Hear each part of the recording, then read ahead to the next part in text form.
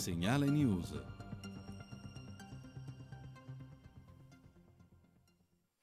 Appuntamento con l'informazione dall'Italia e dal mondo su Perte Online. Buona giornata dalla redazione. Apriamo con la pagina della cronaca. Fucile tra le braccia così questa mattina un ragazzo di nazionalità ucraina ha creato letteralmente il panico nella stazione Flaminio della metro a, Roma. A bloccarlo sono stati poliziotti in servizio. Il controllo ha permesso di verificare che si trattava di un fucile ad aria compressa.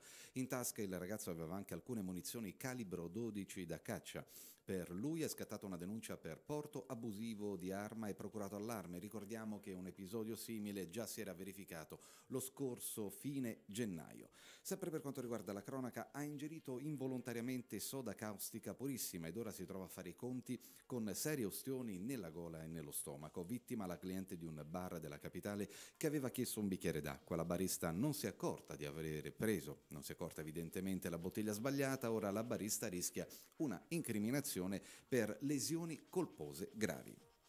Sempre per quanto riguarda la cronaca, prostituzione minorile, detenzione e produzione di materiale pedopornografico, questa è l'ipotesi di reato che hanno portato all'emissione di sette ordinanze di custodia cautelare a Brescia al termine di un'indagine della locale Procura della Repubblica, arresti domiciliari per sei delle sette persone, per il settimo obbligo di dimora, tutto è collegato all'arresto di un uomo eh, sieropositivo che deve rispondere dell'accusa di aver avuto rapporti sessuali non protetti con minori. Sempre per quanto riguarda la cronaca cambiamo comunque decisamente tenore, la classica storia di un rapporto a tre con l'infedeltà a fare da sottofondo. Lui, lei e l'altro, tutto accade a Venezia, protagonista una coppia di fidanzati. Lui viene allertato di un possibile tradimento della ragazza, arriva all'improvviso a casa ma non trova nessuno, trova solamente la sua ragazza.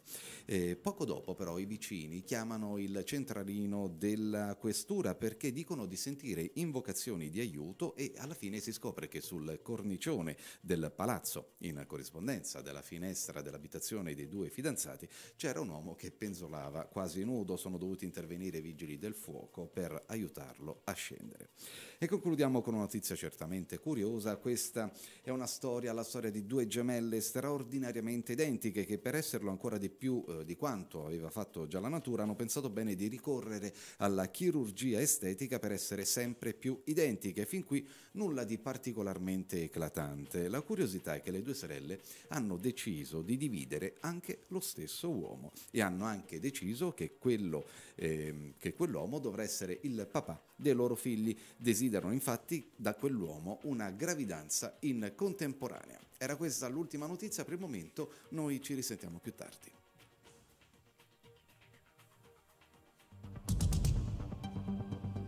Segnale News